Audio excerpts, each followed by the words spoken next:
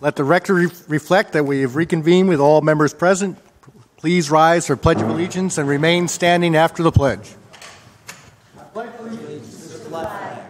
united states of america and to the republic for which it stands. one nation, under god, with liberty and justice for all. Please remain standing for a moment of silence. This past week, Madison lost Joe Sherlanzio, who over 40 years ago, with his brother-in-law Dominic Romanelli, opened the second pizzeria in town, which is now Romanelli's Italian Eatery. It evolved from a small storefront operation on Main Street to the restaurant on Lincoln Place, and it was their investment in the property in what was then Lincoln Garage, for many of us will remember, that really revitalized the eastern end of Lincoln Place. And Joe, for so many years, has been so generous to the organizations in Madison. And for those that ever go to lunch there, always ready to uh, share a, uh, suggestions on how, to, how we can do things better in Madison. He will truly be missed. And let's have a moment of silence and thought for Joe and his family, his wife, Mary Lou, his loving mo- mother, Aurora, Sherlanzio, son Joseph, two daughters, Melissa and Andrea.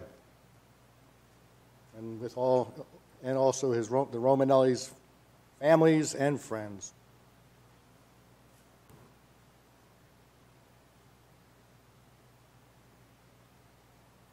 Thank you.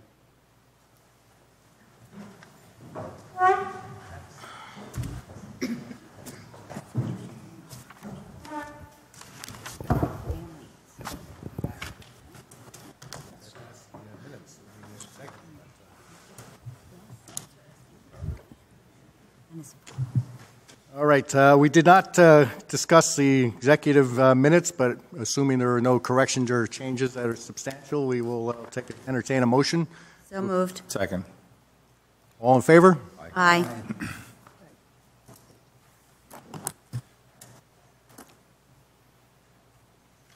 Welcome. Coming down shortly for a couple presentations, but uh, a couple other announcements. Um, this past uh, Saturday, in the raindrops, was the uh, Little League and uh, girls softball parade commemorating the opening of a, yet another season. Uh, Bob Landry and I uh, led the parade ahead of the uh, very uh, vocal and spirited girls softball young ones that, especially going through the overpasses, enjoyed the, the echo. Um, the raindrops did not scare away the, uh, the players and certainly not the crowd either. And we, they had estimated about 600 little leaguers, about 300 uh, girls softball players, and in addition to recognizing the start of another season, I presented a proclamation recognizing the Little League's 65th year in Madison. They started in 1952. They brought back many of the uh, previous coaches from many years to uh, recognize their work over the years. On um, May 22nd, our second meeting in May, we'll have a combined meeting, meeting with the Downtown Development Commission, and we'll be presenting the uh, downtown revitalization study done by Urbanomics, and that'll be 8 o'clock here. That will be outside of uh, any uh, ordinances with hearings. That will be the only agenda item that evening, so we'll be able to ex- extend um, and dedicate time for that topic. So, again, that is the May 22nd meeting.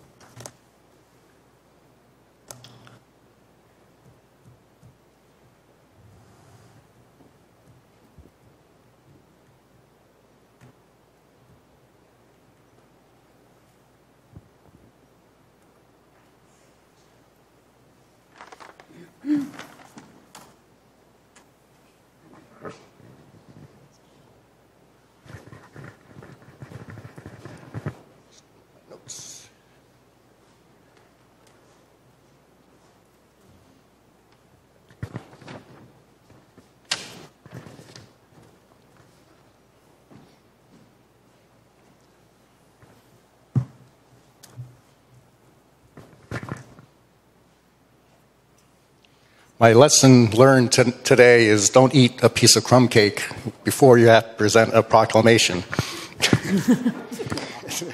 I am very thirsty all of a sudden. It was, it was a good piece of crumb cake from CJ's.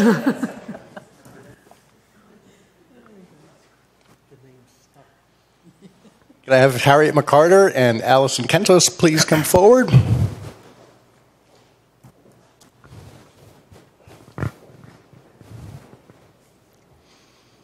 Proclamation and our uh, next presentation are somewhat connected.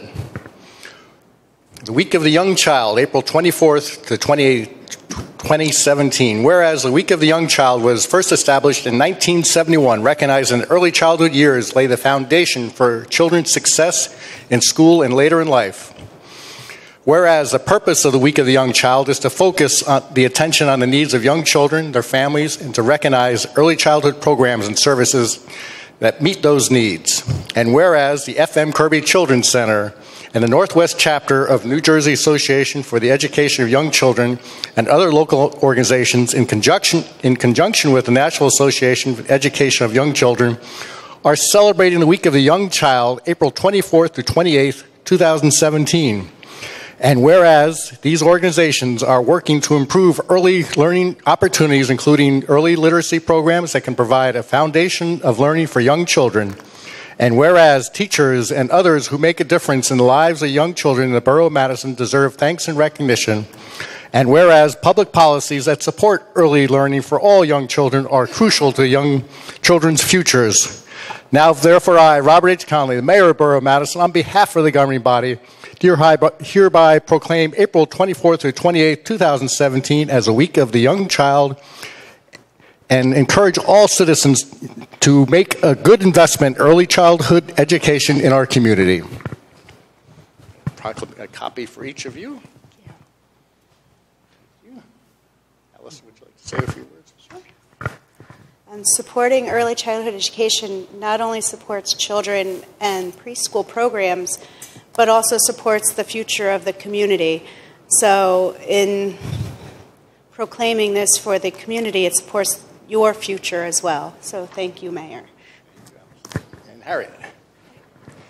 To echo Allison's sentiments on behalf of the Kirby Children's Center, um, I'd like to thank Mayor Conley and the Borough of Madison for supporting and acknowledging the uh, work that we do and the importance of early childhood education. Uh, the work that we do really truly lays the foundation for, um, in mind, body, and spirit, for all that the children get from the great schools that we have here. And more importantly, it enables them to go on as our future citizens to lead balanced, happy, and fulfilling lives. So thank you very much. Thank you, and thank you for all you do.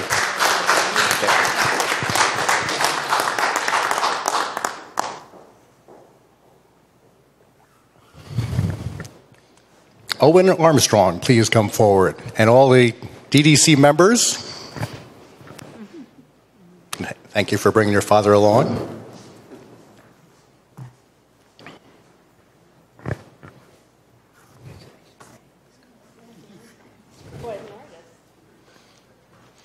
So, Owen is up here for a special reason because a week from this Saturday, you will be seeing Owen's artwork on about a thousand t shirts in downtown Madison.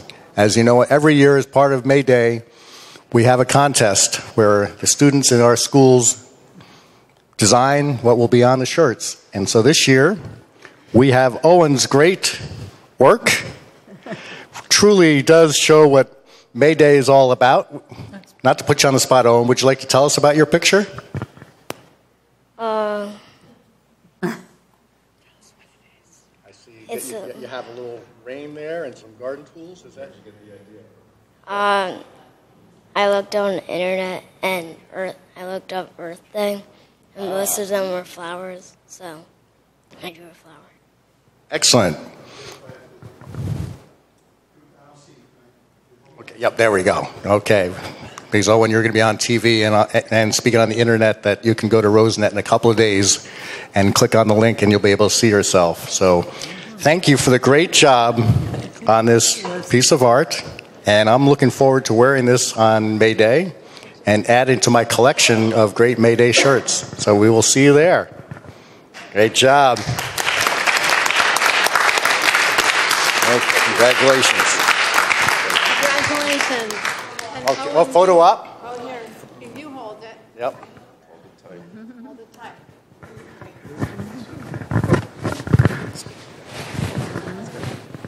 Mm-hmm.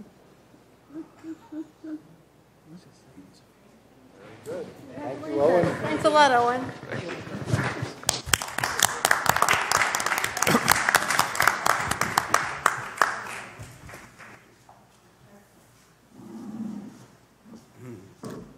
Go now.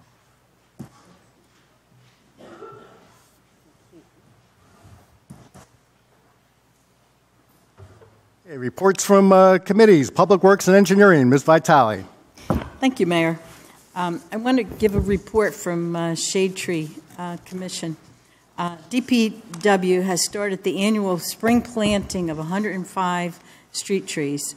Uh, Residents have been notified via mail, location markings, and door hanger notifications. Uh, Drew and Madison are co-spons- co-sponsoring a free tree seedling on the New Jersey State Tree Recovery Campaign. Seedlings of various tree species will be offered to residents on May 1st, 2 to 4 and 5 to 6 p.m. in front of the Drew Athletic Center. Extra seedlings will be available for Madison residents as part of the Arbor Day, May Day celebration in front of Borough Hall on May 6th. Um, They also received this uh, really great honor. It's in recognition of 10 years of participation in Tree City USA Growth Award uh, Program. So Madison, New Jersey has been named a Sterling Tree City USA, and that's quite an honor for, um, for the town, very unusual, too.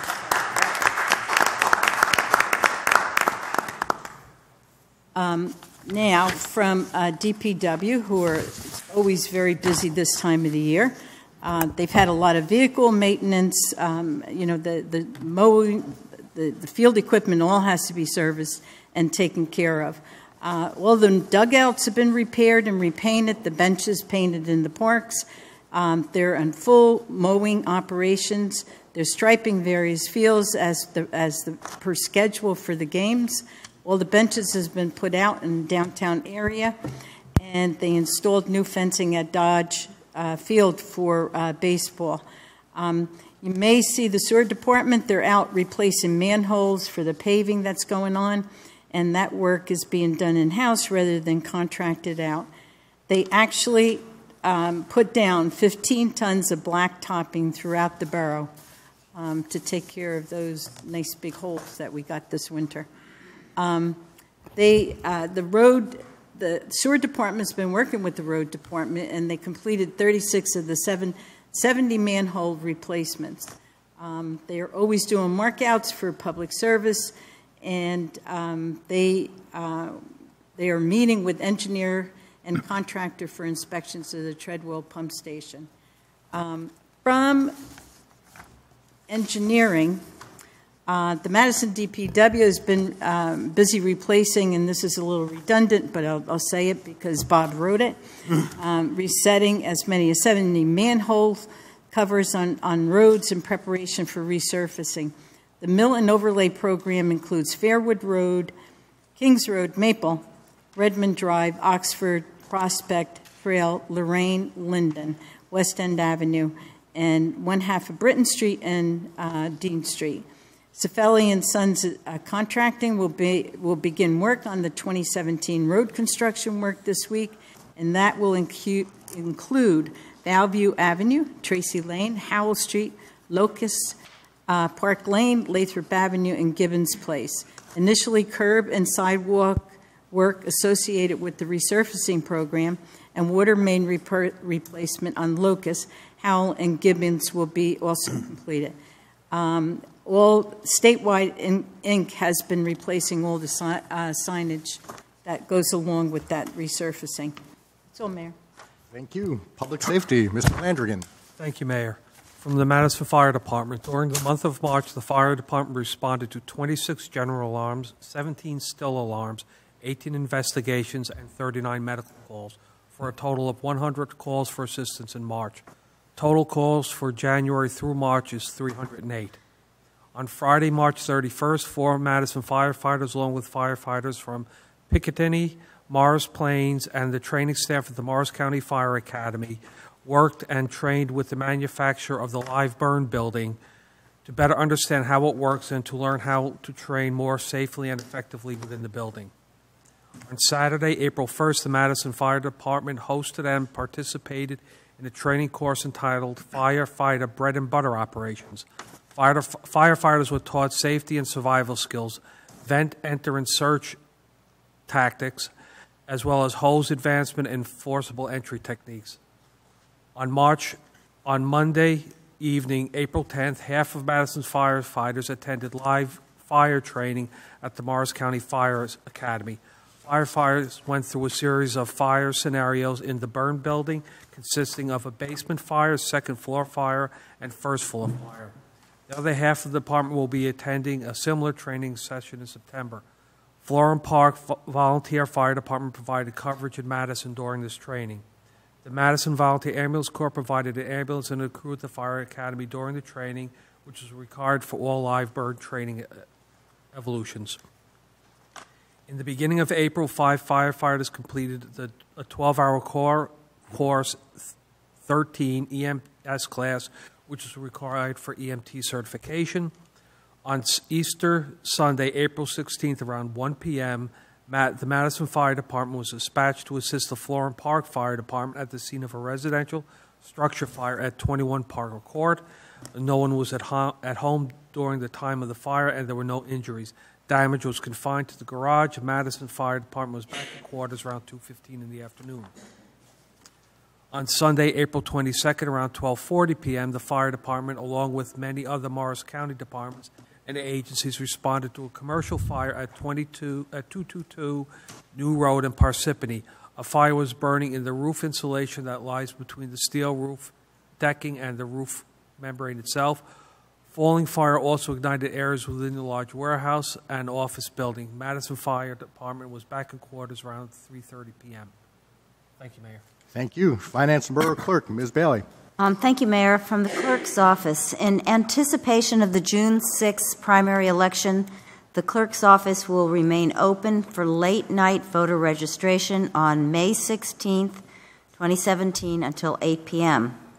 Applications for vote by mail ballots and voter registration forms are available in the Borough Clerk's office or online at morriselections.org. And from the Finance Department, um, the Audit Committee met today with the Administrator, CFO, and members of the auditing firm Nisivoccia. The committee discussed financial internal controls, audit timetable, and other related matters. From the tax collector, uh, a reminder that second quarter property taxes are due on May 1st. Also, the tax collector has started work on the 2017 tax sale, which is scheduled for September 12, 2017. First step is working with the utility billing department to make sure all 2016 utility account balances are paid. Utility delinquent notices went out today.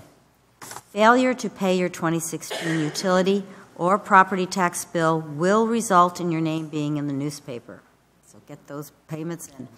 Uh, From the Utility Billing Department, administration has been working with the billing software company and will be ready to implement the $1.5 million electric utility dividend starting on Monday, May 1st. Residents will see the dividend as a separate line item on their bill, and a flyer will also be placed in the bills explaining the dividend.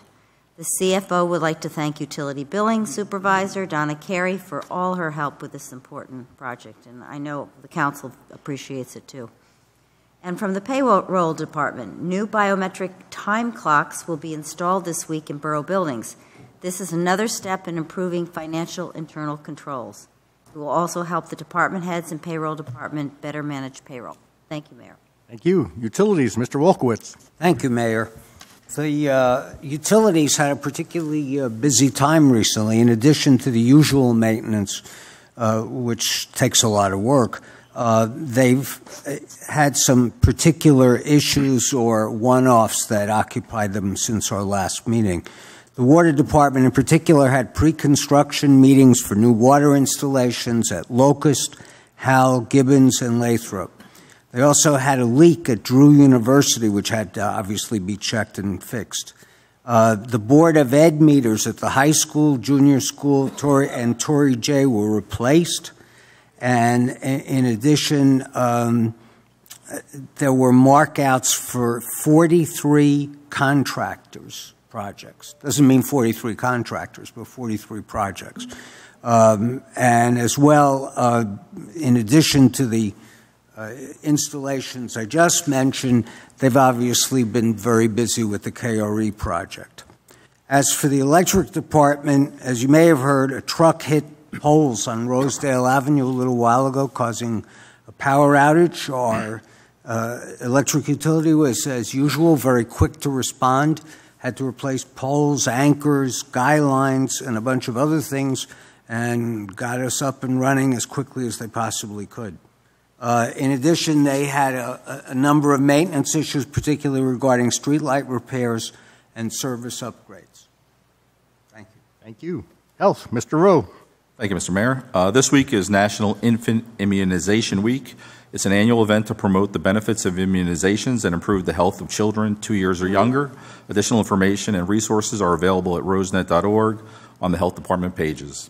And a women's health screening event is scheduled for Monday, May 22nd. Appointments are necessary, and they can be made by calling the Health Department 973-593-3079, extension 1. Thank you, Mr. Mayor.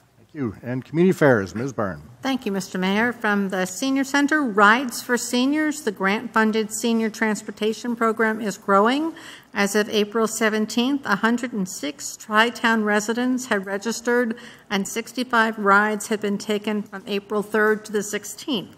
Response has been good, and committee members are visiting local senior groups, housing complexes, and community events to promote the service. The service is also being publicized at area medical facilities where transportation may be a problem for a senior in need of care or a spouse wishing to visit. In addition, the Age Friendly Stores Initiative is partnering with the Rides Project to promote accessible transportation and walkable downtowns as a way to increase business. The April 19th Spring Luncheon drew 50 people who gathered to honor the 10 volunteer tax counselors who completed and filed federal and state returns for 141 area residents. I was not one of them. Looking ahead, we will once again participate in Madison High School's Day of Service on May 19th. Local organizations will meet with the students at lunch hour during the week of April 24th to describe volunteer opportunities in school and around town. The Senior Center is enlisting student help with making and decorating the T-caps for donation to the Carol Simon Cancer Center. The popular Helping Hands project has been resurrected, and residents are already signing up for student help with yard work, window cleaning, and other spring projects. Um, this weekend is going to be very busy downtown. On Saturday, we will be celebrating Independent Bookstore uh, with uh, guest readers um, and a guest appearance by Clifford, the big red dog. Um, and then on Sunday, we will be celebrating the close of Turn the Town Yellow, also at Short Stories, uh, from 5 until 8 in the evening. Um, May 11th is the Ladies' Night Out, sponsored by uh, the Madison Chamber of Commerce. It's an opportunity to come downtown, do a little bit of shopping, and put your name in the hat for some exciting gifts donated by local businesses. And then finally, we have, of course, put in a plug for Saturday, May 6th, which is May Day. We need volunteers. Uh, you can go to, you can contact Lisa Ellis at madisonddc.org um, and uh, sign up and get one of these great t-shirts to add to your collection. Thank you, Mayor. Thank You. Communications and petitions. Yes, Mayor, Council received two communications, an email received April 21st from Allison, Allison Spatola of Rose Avenue regarding the welcoming community resolution, and an email received April 21st from Gwen Packard of Berkeley Heights regarding parking along Main Street. Now we're on the first of two invitations for discussion from the public. This is limited to items on the, our agenda discussion, which is the 2017 Farmers Market, or any resolutions that are listed under the consent agenda.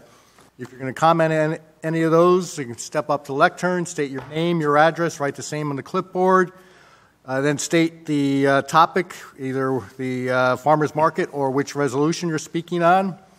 And uh, after the last meeting, the attorney reminded me that the need to be consistent with the uh, time limits, as has been the practice. I usually have allowed people to go a little past the three minutes, so if you are speaking on either of these sessions today, at three minutes, I'll give you a one minute warning, and at four minutes, you'll be, uh, should be finished, and that will be the uh, process, so we're, we are consistent. So, with that, anyone wishing to speak on the agenda items, please step forward. Seeing none, I close this part of the meeting. And 2017 Farmers Market. Maureen, you want to start that up? or? Yeah, well, I mean, the market um, has been growing over the last few years. It seems to have found a permanent home um, on Central Avenue between Main Street and Cook.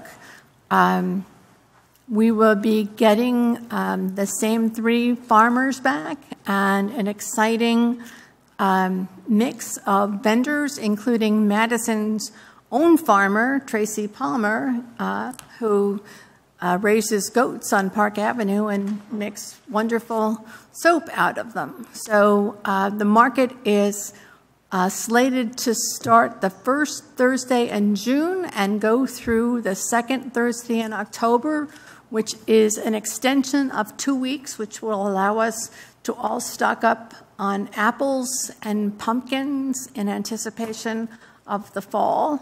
Um, and uh, once again, Lisa Ellis and Don Hoover will be leading the charge along with uh, help from our interns. And so the differences for this year in the resolution include the um, sidewalk change. Um, it reflects the it reflects the changes to the ordinance that we made to allow outdoor dining yep. and signage to promote the businesses and the market itself Right, and, and the longer time. and the longer time. Any questions or comments from the council? Okay, Looking forward to uh, June 1st. This is on the uh, consent, Resolution 140. Because of the short time in between meetings, the ordinances that were introduced at the last uh, meeting have a hearing at our next meeting, so we have no ordinances for hearing tonight. And we move on to invitations for discussion. And this is one you may speak on any topic, but again, reinforcing what I've just mentioned that at three minutes I will uh, give you the one minute warning, at four minutes we'll stop. I will not st- start the clock until you have finished stating your name and address. So if you have a long name and a long street, that won't be held against you. Under those guidelines, anyone wishing to speak, please step forward up to the lectern.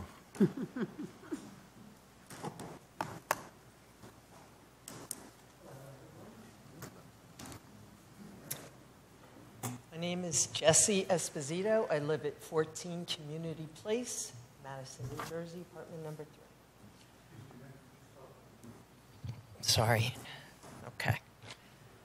Um, the reason I'm here tonight is to discuss the parking situation on Community Place at the end where the housing authority is.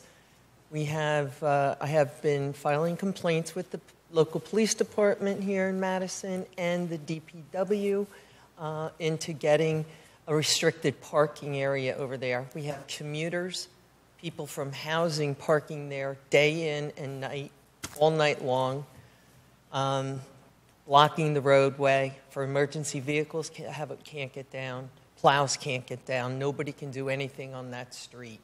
Um, it, it's creating too much of a hazard situation. So, um, in working with Madison Police Department and DPW, we did decide that the one side of the street, um, what they're, they're going to try to enforce is a no parking area because it just creates too much of a mess.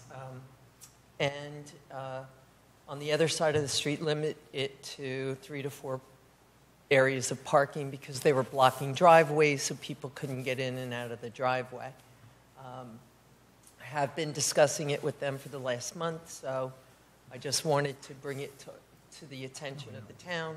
It is a serious problem. We have commuters You have the housing authority, who people don't want to pay for parking, are just parking on the street, and, and business owners, employees for businesses are just parking on the street. So I would like to see that addressed further. Um, yellow lines put in, no parking signs put up, and, you know, the situation, you know, changed. Thank you. Thank you, sir. So uh, follow up, um, we'll uh, work with Joe Longo as far as uh, ordinance come forward on the recommendation on the one side uh, parking. The other is, uh, since we now have the four-hour, what we've mentioned about the four-hour parking ban, that enforcement is passive. So in some neighborhoods where it's not an issue, we're not going to be ticketing, but neighborhoods where it is, residents can certainly um, call. So we will uh, make sure that is being done. And the other uh, thing which might be helpful is, as we've done on some streets, is um, paint the limit parking limit signs uh, lines right at driveways and so on, so people have clearly defined parking areas. Okay. Thank you, sir. You're welcome. Anyone else?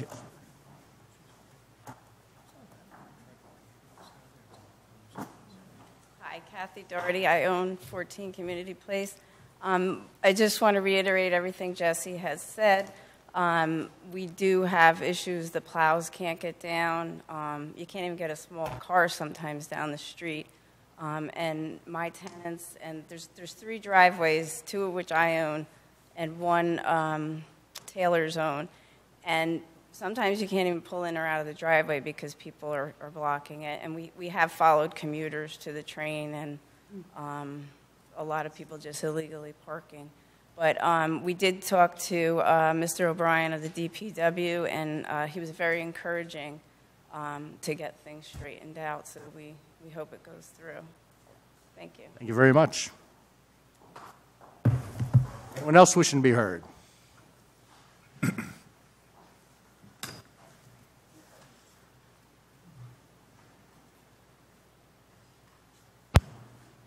Council, my name is uh, Tom Abruzzo. I'm from uh, 52 Maple Avenue in Madison.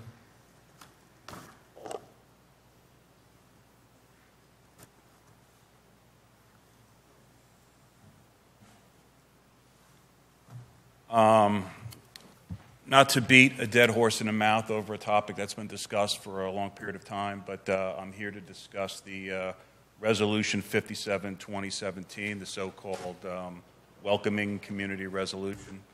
Uh, like most of the residents in town, I was fairly unaware of uh, the process and things that had taken place and when it, and when it took place until the town held its special um, council meeting uh, earlier this month, um, which I uh, heard about at the last minute. I went and, and went ahead and attended. Um, following that meeting, I went out and did a lot of research on the whole process. Uh, and quite frankly, I was um, uh, very frustrated uh, by the whole process and how things worked out. Did research, took a look at the minutes from the last council meeting in January. No discussion on the potential for an adoption of a resolution. Um, didn't see any comments about that leading up to that meeting. Uh, went back to when the campaign took place uh, last fall. No discussion about bringing out an adoption for a resolution. Um, all of a sudden, we get this resolution, we read it, very serious commentary within there, within, within, the, within the document. Um, quite frankly, if you read it fairly closely and you see the concerns of what's going on within the federal government, you look to see that um, that, that, that document, as it's written, could clearly put us and designate the town of Madison as a sanctuary community or sanctuary city uh, something I don't think most of the residents of this town really want to get ourselves into. Um, ultimately, there is no definition of what constitutes a sanctuary city, sanctuary community. But if you do read online, definitions state a sanctuary city or community is a city that limits its cooperation with the national government in order to help people who are in this country illegally avoid deportation. Um, Based on uh, a number of the uh, points in the resolution, particularly points two, seven, and eight, seems like we're going down that path. And uh, we're in a position where designations are going to come out again. And do we want to see Madison's name on a list of names like Newark, Camden, Jersey City, Asbury Park? I'm not sure we want to go down that path. Um, If you want to debate me on the level of the designation, as I'd asked in the email I sent to you all last night, I'd like to know what the legal basis is for us being, for Madison being able to make a comment, being able to make a comment, the second bullet point in the F- the FAQ Welcoming Community Resolution that would state that Madison is not a sanctuary city. Um, uh, I asked via email. You don't want to provide it here. I would, I would request that we get something. I, I, I received something in writing that I can share with a number of the other residents that are very concerned about this. Um, And one, one minute. Okay. Uh, again, very concerned about the process. Uh, I looked at other towns, other towns that have adopted uh, similar ordinances as well. They actually went through processes where they had a town meeting, where they had a council meeting. They discussed that they might be doing this. They then had another meeting and they ultimately adopted something. Um, you might want to look at uh, a, a resolution that was adopted by another town here, Leonia, New Jersey. Um, I have a copy of it here right now if anyone's interested in looking at it. Similar, similar structured resolution, but with different language. A little bit more compromising for the various points. It makes your statements that, yes, we are a welcoming community, but does not make a statement that we are here and in conflict with the federal government. Which I don't think that is a principles that we want to be sharing with our children and our processes that we are, that we are up and against the federal government. All right? Thank you. So, Time. thank you. Appreciate your uh, input on that, and as been mentioned on the April 3rd meeting, that uh, conversations will continue um, with all the work that was done that evening and and the great turnout from our residents.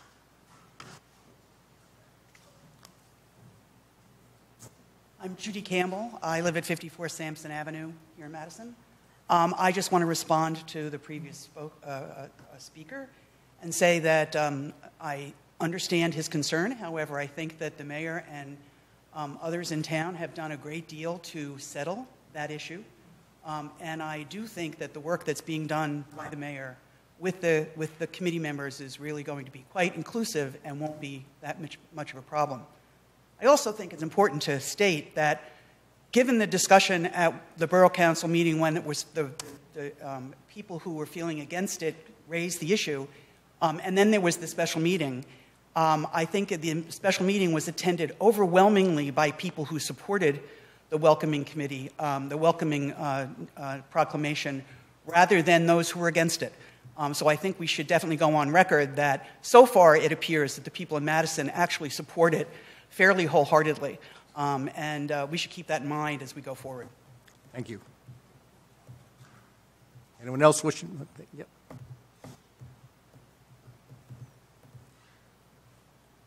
Sorry. That's all right.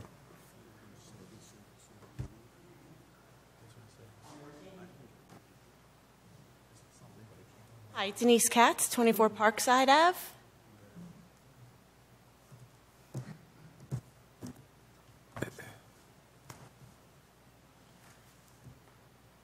I uh, wrote a letter to the mayor and the council thanking them for their leadership and their decision making in issuing the Welcoming City proclamation. I think I attended the April 3rd discussion. I, I agree with Judith. I think the majority of the attendees were for the proclamation. And a number of people that questioned, that were sort of on the fence and questioned, why do we need this? I think as the discussion continues and as the letters to the um, town paper continue, I think it tells us this is why we need the proclamation. We are a welcoming community. We need to remind everyone that we're a welcoming community. And again, thank you to the mayor and the council for showing us leadership in this issue. Thank you very much. Anyone else wishing to be heard? Seeing none, close this part of the meeting. Thank you all. And uh, again, a, a reminder that the, the conversations will continue. We'll be uh, over the next uh, few weeks setting up uh, subcommittees working on things. And um, as was mentioned at last meeting, uh, I've had correspondence with uh, a resident. The last meeting, trying to set up a time for those that are have concerns about the welcome resolution that we can sit down with our attorney and have those concerns addressed because it is important that everyone understands uh, what what the resolution is and what it does and what it doesn't do. And moving on to uh, int- introduction of ordinances. Will the clerk please read the statement?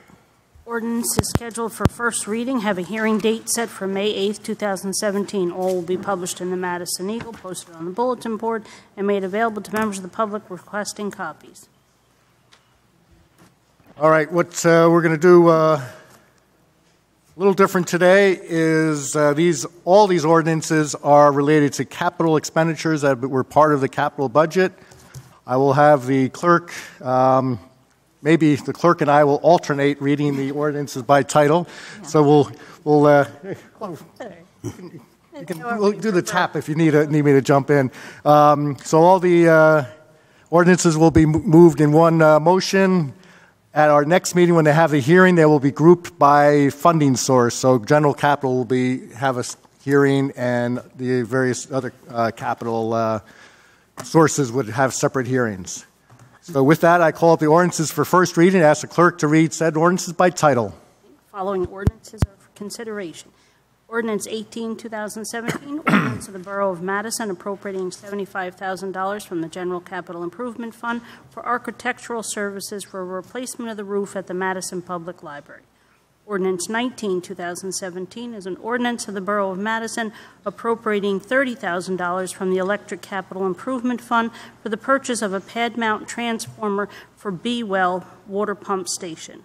Ordinance 20, 2017 is an ordinance of the Borough of Madison appropriating $35,000 from the General Capital Improvement Fund for the purchase of integrated uh, SCBA thermal imaging cameras.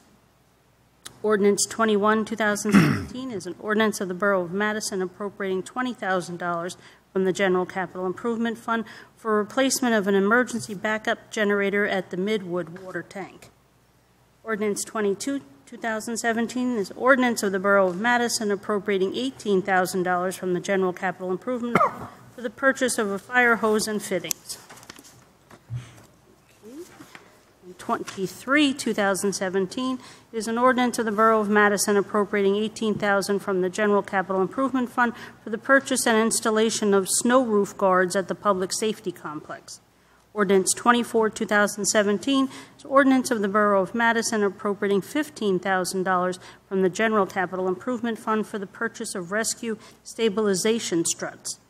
Ordinance 25, 2017, ordinance of the Borough of Madison appropriating $12,000 from the General Capital Improvement Fund for the purchase of low-pressure airbags.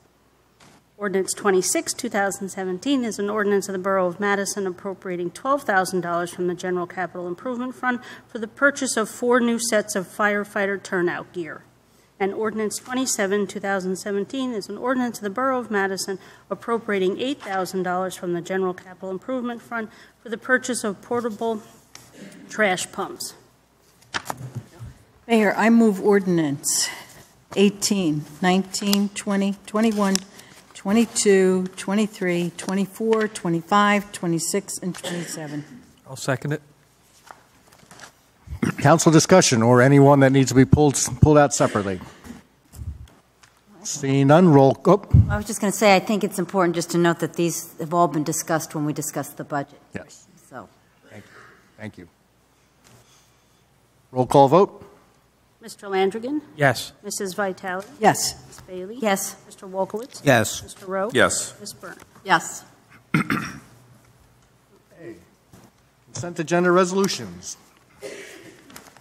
Clerk, please read the statement. The Please read. consent agenda resolutions will be enacted with a single motion. Any resolution requiring expenditure is supported by a certification of availability of funds. Any resolution requiring discussion will be removed from the consent agenda.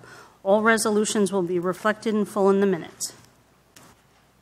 Mayor, I move uh, Resolution 139-2017 to Resolution 144-2017. I'll second the motion. Any discussion or any that need to be pulled? Roll call vote. Mr. Landrigan? Yes. Mrs. Vitale? Yes. Ms. Baillie? Yes. Mr. Wolkowitz? Yes. Mr. Rowe? Yes. Ms. Byrne? Yes. There is no unfinished business. The approval of vouchers. For the current fund, $3,697,360.88. General Capital Fund, $15,369.90. Electric Operating Fund, $157,386.06. Water Operating Fund, $25,437.37. Water Capital Fund, $99,879.32, and the trust, $332.50. The total is $3,995,766.03. Mayor, I move uh, approval of the vouchers. I second it. Discussion? Roll call vote? Mr. Landrigan? Yes. Mrs. Vitale? Yes. Ms. Baillie? Yes. Mr. Wolkowitz? Yes. Mr. Rowe? Yes. Ms. Byrne? Yes. There is no new business. I move we adjourn. All in favor? Aye. Take a phone out. We're almost. They never did. I was so they should. You just adjourned because. I'm done. I'll make it home before, he doesn't get home till quarter to 10 on Monday because he teaches. Thank you so much. Oh, that's my old. That's quite Did, yeah. Yes, he teaches there. The last Yeah, teaches the Admiralty.